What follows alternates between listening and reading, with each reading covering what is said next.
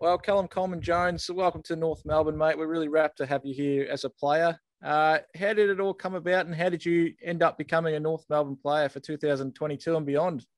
Yeah, thanks, mate. I appreciate it. Um, it probably got towards the end of the year, and I was looking at my options and had a few discussions with my manager, and decided to look around a bit for further opportunity to um, play more senior footy, footy and whatnot. So uh, North North approached my manager, and we were keen to catch up and have an interview.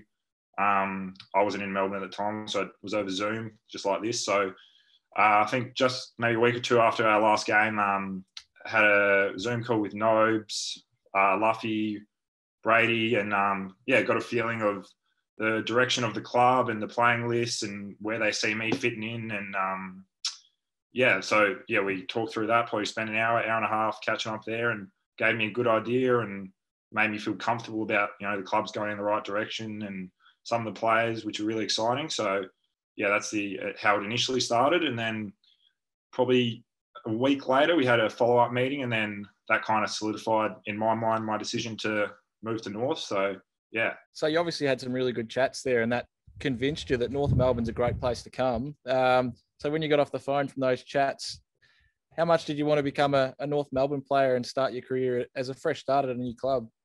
Oh yeah, those chats made me hugely excited to um, join the club and just be able to build like um, a real future with such an exciting young list and some real exciting young midfielders and obviously some great senior players there too, which have helped build the foundation of the club over the last few years. So yeah, I was I was pumped when I um, came to my decision to join the club, and yeah, I can't wait. You obviously got a good feeling from David Noble too, and what he's trying to uh, bring to this group, and and you're probably not across the narrative, the, the process yet that we've been using this year, but he obviously uh, made you feel very welcome, and and that you're going to be a really important part of the club in the future. Yeah, definitely. Um, Nobes was great. Um, we had some one-on-one chats on the phone too, which um, gave me a great understanding of what he's like as a coach, and I heard only good things about him from outside um, sources, people telling me good things about him, and um, yeah, he gave us gave me a feel of the sort of game style they're trying to play and the sort of systems and the um, sort of yeah the processes that they're implementing, and yeah, it gave me a great feeling that the club's on the right path and something that I definitely wanted to be a part of. How much was the potential to play ruck, um, like sort of effective in your decision to come across? Um, the potential that Todd Goldstein, obviously an amazing player, but he can't go on forever as much as he, he probably wants to pay till he's 40. But I imagine the club probably sold you on that potential to play a little bit more through the ruck and have a bit of versatility in your role to play forward and ruck. Yeah, definitely. That was a big part of the decision for me. Um, obviously, Goldie's a great player, and I look forward to learning off him, learning the craft off him. Um, unbelievable player, and yeah, but I've always thought that my best footy going forward is in that ruck role where I can then spit forward and use my work rate around the ground. So, oh yeah, I look forward to just building in that role and yeah, just keep getting better as a player. For North fans who haven't seen you, and I'm surprised there'd be many because we've all been watching your highlights over the last few days, but what are your main strengths and what are your main main assets that you're going to bring to the table at North? Yeah, I think my ability to work around the ground, um, get to LDL contests, impact in the air, and then follow up and push forward and be a threat down forward as well is big for me. And then when my game's up and going, my uh, being able to impact the game aerially, take marks, and uh, yeah. Callum, you had a pretty highly publicised incident in 2020 where you were suspended for the 10 matches. What sort of experience did you get from a learning capacity out of that one?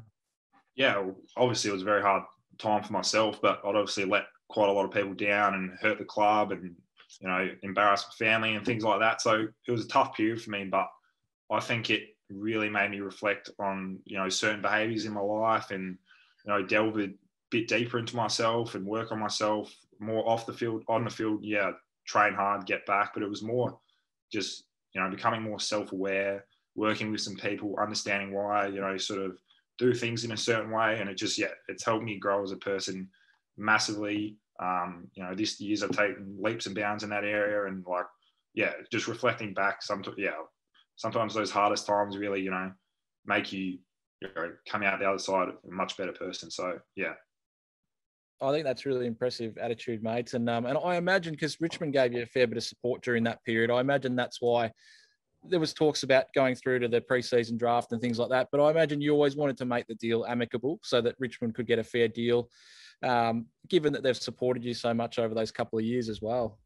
Yeah, that's right. Richmond were unbelievable to me in that time, and they looked after me, made sure I was okay, helped me through um, that sort of period um, to get back, and gave me all the support they could. So that's yeah. When the um, trade period came around, I always wanted there to be a fair deal made where Richmond got looked after as well. I didn't want to um, leave them short-handed. So yeah, I was happy that a deal could get done in the end and not have to use the uh, preseason draft. You feel like as much as these incidents and mistakes are, are, probably a horrible thing in life, did it really help you mature as a person and and off the back of that as a football player? Yeah, definitely. Um, it made me mature unbelievable amounts. Um, yeah, looking back to almost it was probably a year or so ago now. Yeah, I've come a long way, and it's helped my football hugely. So, you know, if I'm going through this sort of like a tough period in the season or a bit of adversity, I can reflect on that sort of situation and take thing take some of the learnings that I've found it from that and use them in my everyday life. So yeah, it's been massive. And tell us how much you can't wait to get into a North Melbourne jumper and, and a North Melbourne training singlet for pre-season in uh, a month's or so's time.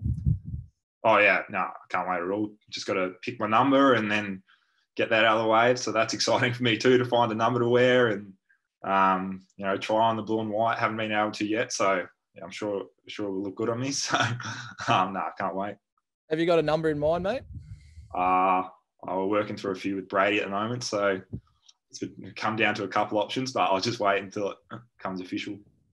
How, how, can you help us out with a nickname too, Callum? Um, CCJ's been getting around a little bit, but you, can you help us out for the North fans out there? Uh, oh, it's pretty much just CJ. Uh, CCJ, yeah, more just CJ, but I'm sure I'll get one at North. I'm sure that one will come at North that'll stick soon. So yeah. Oh, well, good on you, mate. We're, we're really rapt to have you on board uh, as a North Melbourne player going forward. I'm sure the fans can't wait to see you out on the ground as much as we can't either. We, we're really looking forward to seeing you in the in the Royal Blue and White. So all the best, Cal. No, thanks, mate. Appreciate it.